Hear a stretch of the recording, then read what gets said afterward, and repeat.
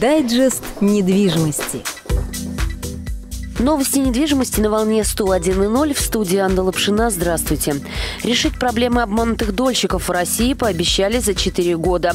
До 2022 года граждане, пострадавшие от действий недобросовестных застройщиков, получат либо квартиры, либо денежные компенсации.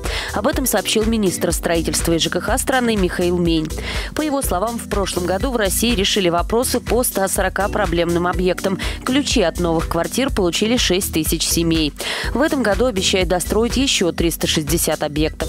В планах на ближайшие 4 года завершить более 800 домов по всей стране в разной степени готовности.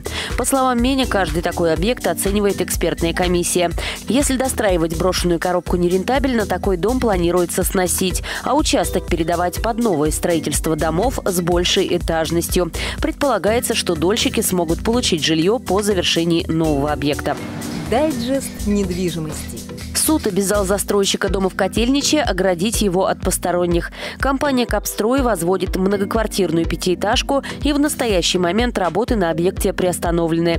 На стройплощадке отсутствует защитное ограждение, что делает ее потенциально опасной для жизни и здоровья граждан, в том числе подростков. В соответствии с законом, если строительство объекта не ведется более полугода, он должен быть законсервирован, напомнили в межрайонной прокуратуре. Представители ведомства обратились в суд с требованием требованием обязать застройщика произвести консервацию. Требования прокурора удовлетворены в полном объеме, сообщает пресс-служба прокуратуры области. Дайджест недвижимости. В мэрии стартовал прием документов на соцвыплаты по приобретению жилья.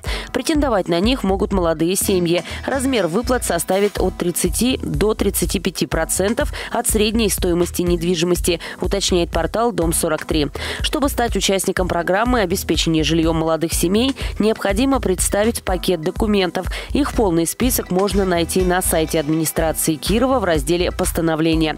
В частности, необходимы документы, подтверждающие, что заявители нуждаются в улучшении жилищных условий и решают этот вопрос строительством либо покупкой квартиры в ипотеку.